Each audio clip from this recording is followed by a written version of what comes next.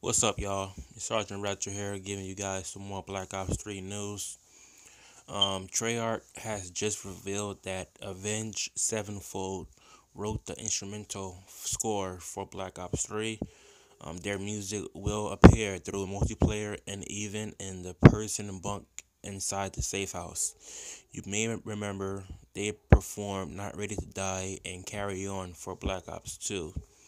Um, Treyarch says, having worked with Avenged Sevenfold in the past, we recognize the band's unique ability to write amazing original music and couldn't be more excited to debut a unique instrumental score for Black Ops 3.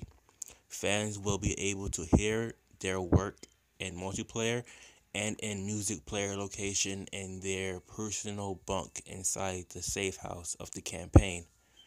So um, these guys have worked with Treyarch before for Black Ops 2, and now they are working for um, Black Ops 3. Um, I'm gonna have a link in the description of uh, one of their songs in Black Ops 2, so you could get an idea of how their um, music are is, and um, that's pretty much it, guys, for this news. Um, I will see you guys pretty soon um, for more Black Ops 3 news.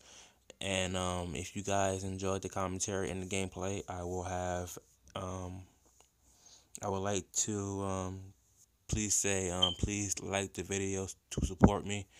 And um, peace out.